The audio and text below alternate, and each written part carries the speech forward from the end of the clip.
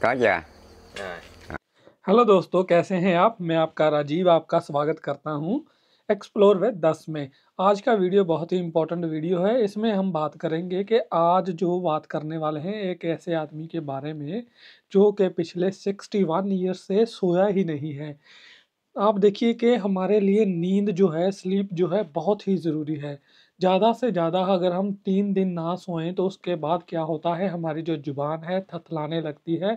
हम अच्छे से वॉक भी नहीं कर पाते। हम इधर उधर गिरते फिरते हैं, जैसे कि बहुत ज़्यादा शराब पी हो एक नॉर्मल इंसान की बात करें, ज़्यादा से ज़्यादा ग्यारह दिन।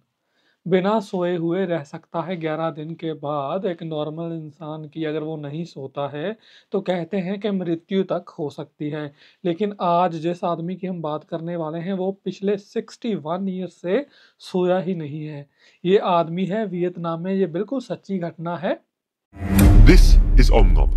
He's kind of famous around these parts. His condition and case have been covered extensively here in Vietnam and even internationally, thanks to the likes of Drew Binsky. तो वो वियतनाम साउथ में रहता है उस आदमी का नाम है थाई एन गॉक उसे थाई एन गॉक कहते हैं अगर इंग्लिश में कहा जाए तो उसे थाई नॉक भी कहा जाता है तो ये जो मैं स्पेलिंग है नीचे लिखकर दिखा रहा हूँ ये है उसके नाम के स्पेलिंग 81 ईयर उसकी एज हो चुकी है। कहते हैं कि 1962 में 1962 में उसे एक फीवर हुआ था। उस फीवर के बाद वो फीवर तो चला गया, लेकिन वो फीवर जाते जाते उसकी हमेशा के लिए नींद भी लेकर चला गया। तो 1962 के बाद वो आदमी कभी भी नहीं सोया है। वो आदमी क्या करता है, अभी भी बहुत ही हेल्थी इंसान है। बिना नींद के भी वो पूरी तरह एनर्जी से पूर्ण इंसान है। 80 साल की उम्र में भी अगर कोई देखें तो वो पूरे से अच्छे से काम करता है, अच्छे से खेतों में जाता है, अच्छे से बोलता है सब लोगों के साथ और वो सिगरेट भी पीता है स्मोकिंग भी करता है और उसे राइस वाइन जो है, वियतनाम की जो राइस वाइन है, बहुत ही फ़ेमस है वहाँ पर। तो वो राइस वाइन बहुत ज़्यादा पीता है और कहता है कि कई बार जब वो बहुत ज़्यादा थका हुआ महसूस करता है तो बहुत सारी राइस वाइन पीकर लेट जाता है। उससे क्या होता है कि उसका दिमाग जो है नशे की वजह से थोड़ा काम करना बंद हो जाता है तो उसको रिलैक्स फील होता है अदरवाइज़ उसको नींद नहीं आती। उसकी फैमिली भी ये जानती है और उसका पूरा गाँव भी इसके बारे में जानता है कि ये आदमी जो है थाई ये सोता नहीं है, ये कभी सोया ही नहीं उन्नीस के बाद। और इतनी एनर्जी ना सोने के बाद भी पूरे के पूरे डॉक्टर भी उसके सामने फेल हो चुके हैं।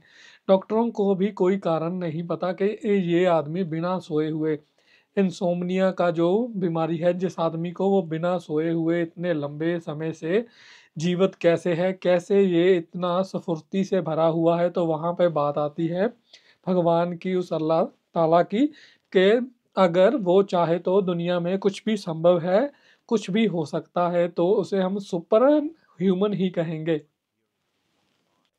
ड्रू बिन्स्की नाम का एक यूट्यूबर है, जो पर्सनली उसके गाँव में जाता है, उससे मिलता है, पूरी रात, पूरा दिन उसके साथ बिताता है और फाइंड आउट करता है कि हाँ वो बिल्कुल भी नहीं स्लीप करता, लेकिन वो जब भी उसके साथ होता है, काफ़ी स्मोकिंग करता है और वो दिखाता है कि कैसे वो राइस वाइन डकाडक पी रहा है और कितना फिट है। ये तो बताना ही क्या आप भी वीडियो में देख सकते हैं कि वो कितना फिट है एटी वन ईयर ओल्ड में भी, उसके पास सिर्फ़ और सिर्फ़ एक ही डिसेबिलिटी है, उसका जो हाथ है ना, वो थोड़ा कम काम करता है। कहते हैं कि जब अमेरिका के साथ वियतनाम की वार थी, तब उसका जो हाथ था, वो थोड़ा डैमेज हो गया था, क्योंकि वो भी वियतनाम की तरफ़ से अमेरिका के खिलाफ लड़ रहा था। तो ये बात आपको बताकर बहुत ही आप सरप्राइज़ होंगे कि एक आदमी जो अभी तक इतने सालों से सोया नहीं है तो कितना रिष्ट पुष्ट, कितने अच्छे से जीवन बिता रहा है। वो ग्रीन चाय भी बहुत पीता है। ग्रीन चाय के जो गुण हैं, वो भी हम सारे जानते हैं कि काफ़ी हेल्थी होती है। 1967 में उसकी शादी होती है। उसकी शादी के बाद उसकी बीवी को भी ये पता चलता है कि ये आदमी सोता ही नहीं है, रात को जागता रहता है। तो उसकी फैमिली है, बच्चे हैं, सभी गाँव वाले हैं, जो जानते हैं ये बात। ये बात वहाँ के लोकल न्यूज़ मीडिया में भी थी। वहाँ पे ये बात काफ़ी फ़ेमस है कि वो आदमी बताता है कि वो लोकल हॉस्पिटल में भी गया डॉक्टरों को अपनी समस्या के बारे में बताया, वो भी चाहता है कि वो नॉर्मल लोगों की तरह सोए। तो डॉक्टर जो हैं उसके बारे में रिसर्च करते हैं, पता करते हैं, उस उसके इंसोमनिया के बारे में, लेकिन डॉक्टर भी असफल रहते हैं। उनको भी कोई खबर नहीं है कि ये आदमी कैसे इतने सालों से सो नहीं रहा और फिर भी मेंटली और फिजिकली इतना फिट है। तो दोस्तों, ये तो कहानी थी उस आदमी की जो पिछले 61 ईयर्स से स्लीप ही नहीं हुआ है, जो कि वियतनाम में रहता है। और अगर आपको ये छोटी सी हमारी वीडियो अच्छी लगी हो तो प्लीज़ लाइक और सब्सक्राइब किए बिना मत जाना। हम आपको जल्दी ही मिलेंगे नेक्स्ट वीडियो में। तब तक के लिए take care till then goodbye